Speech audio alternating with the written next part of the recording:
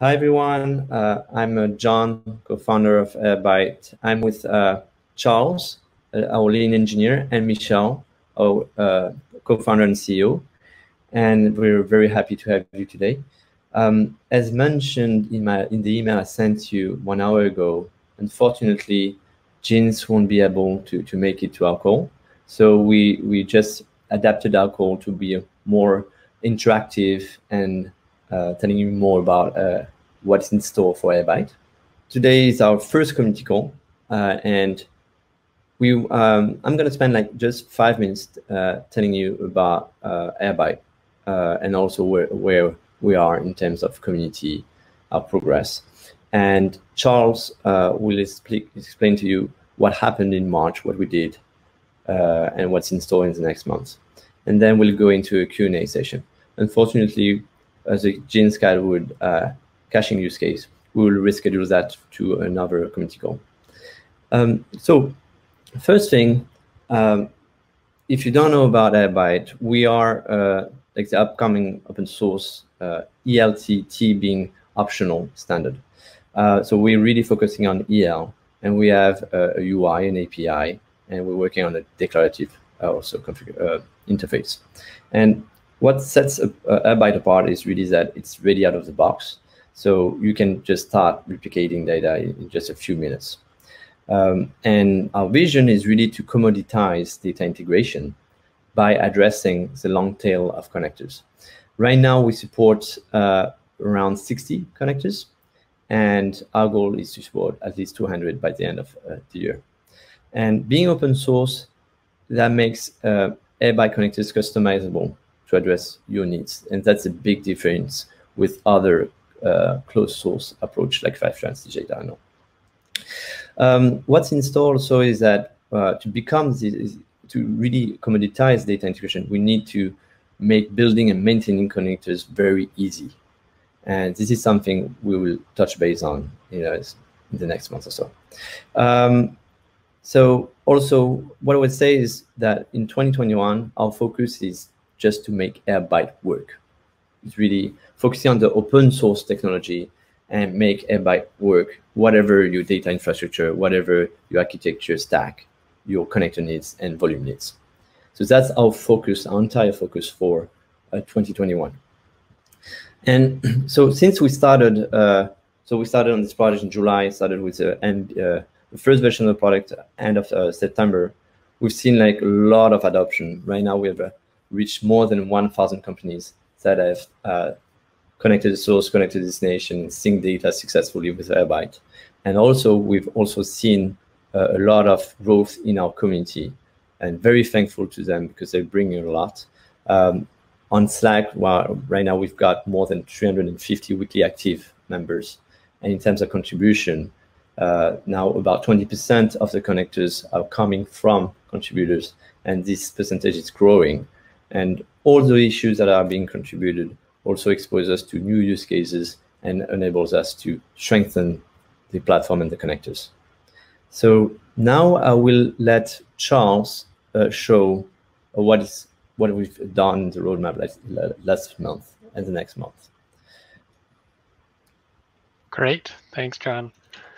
Um, yeah, we're we're going to sort of walk through some of our focuses for for the past month. Um, probably a good thing to point out is what's in this slide is not everything that we've done. I think a lot of our time has been spent getting to interact with our community, both on Slack and through GitHub issues, and that's been the feedback we've received has been massively helpful in figuring out our roadmap. That all being said, I do want to call out sort of like four major things uh, that we made a lot of good progress on in March. Um, the first is CDC for Postgres. Um, we should be launching that on Monday of next week. CDC, I think, is probably like the most requested thing uh, anywhere you look right now, uh, and for good reason. Um, it's really a key part of any ETL or ELT pipeline. Uh, so we're really excited to launch that, and, and we appreciate everyone uh, so, sort of so vehemently encouraging us to move forward with that. Um, the next one is um, also uh, one that got pushed up to the top of our roadmap due to um, community support. uh, was creating an integration with Airflow. This one is also just about to be released. Uh, where we have created, we actually had a community member create an Airflow operator, um, and that will allow you via Airflow to trigger Airbyte, trigger replicating data with Airbyte, um, and that's going to be coming out with the next um, release of Airflow. So we're just gated on, on that release there.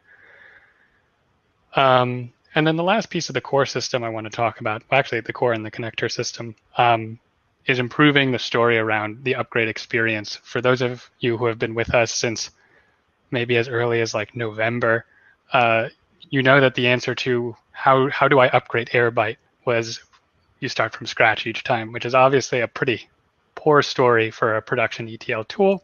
We thank you for bearing with us as we were working that out in alpha. But at this point, we have, I think, a pretty strong story around how you move from version to version um, and retain all of your configuration and job history. Uh, there's definitely room for improvement, and we want to make that an even easier process in the future. Um, and that's that's something we'll be looking at in the next couple months. Um, but we've improved that story so that you can really start to use Airbyte as a tool in your production system.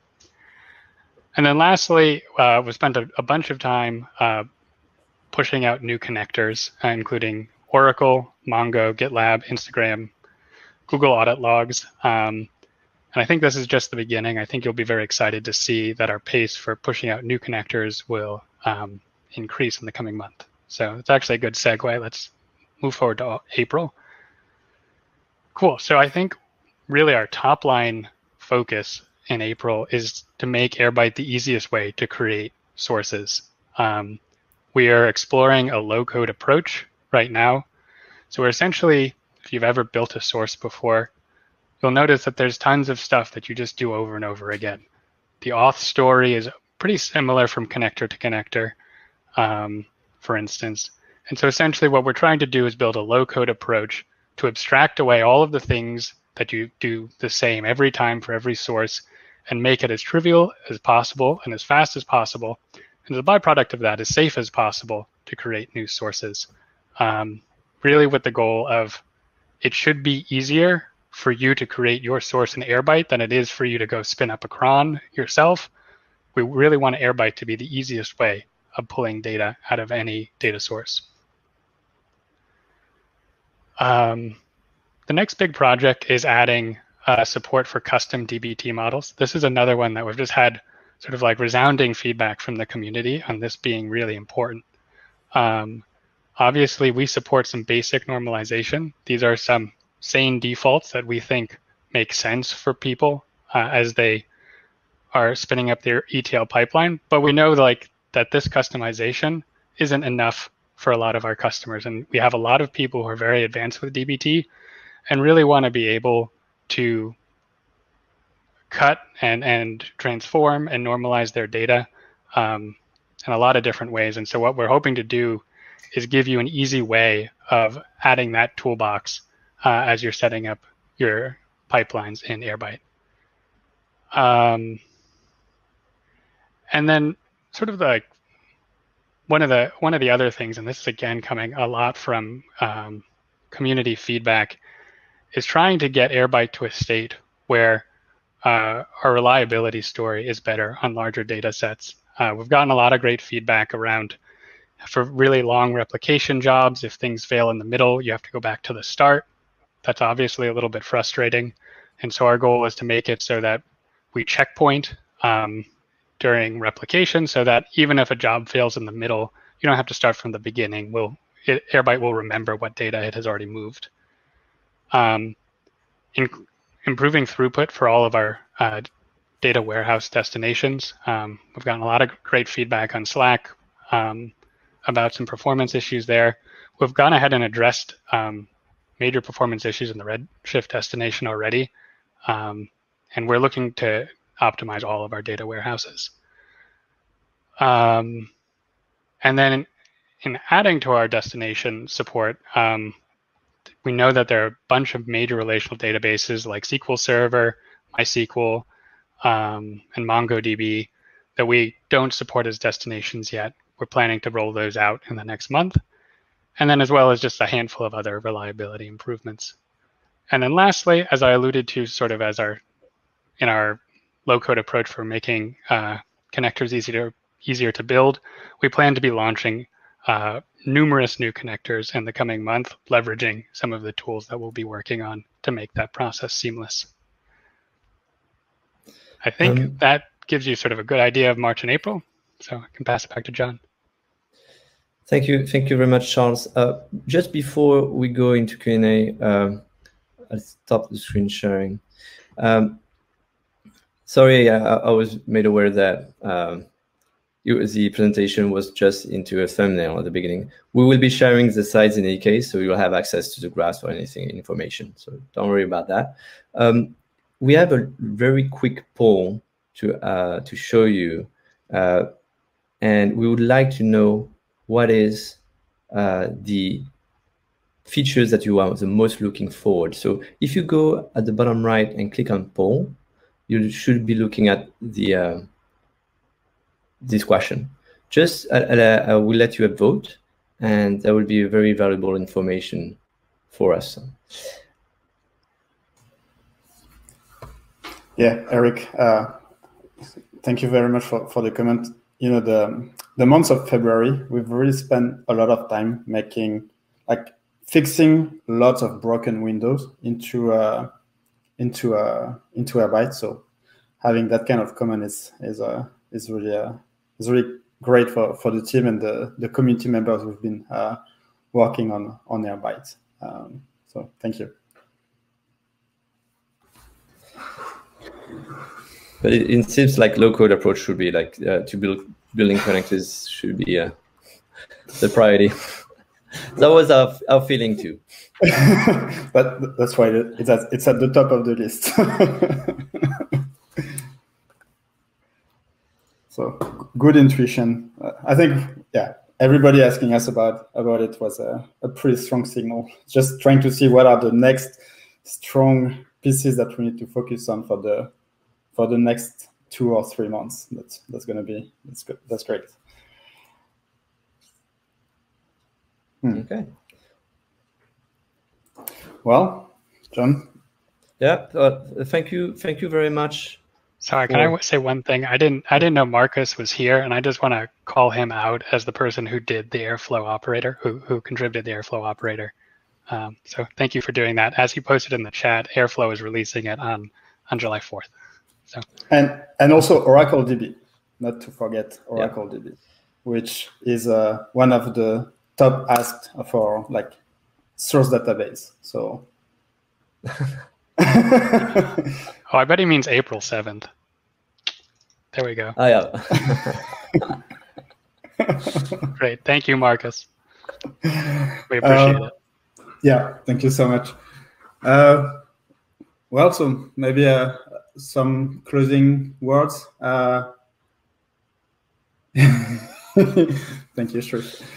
Um, so yeah, thank you, thank you very much, uh, everyone, for for attending our first community call. So that's the first one. I know there are a ton of things that we can improve. We're really sorry about the last minute change, especially that you know that's the kind of thing where the community exposes to us to a, a use case that we had no idea about. I don't want to spoil it it has to do with caching. It's amazing.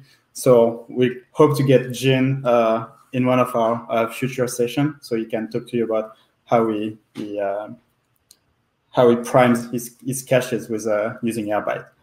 Um, and yeah, so the until the the next community call, uh, feel free to join our Slack to book one-on-one session with us. Uh, as I have like on my side, I have a large part of my calendar that's dedicated to it, where I work with people on, okay, this is how you can build a connector, or this is how you can solve an Airbyte problem, and the team is doing the same. So feel free to book these sessions or just reach out to us on uh, on Slack. And yeah, thank you very much for coming today. Uh, uh, yeah, we'll announce the the next one soon. Thank you, John. yeah. I, I, I, expect my calendar to fill pretty quickly now. so yeah, that's the URL for Michel's calendar. Don't hesitate. Thank you very much, everyone. Bye. Bye.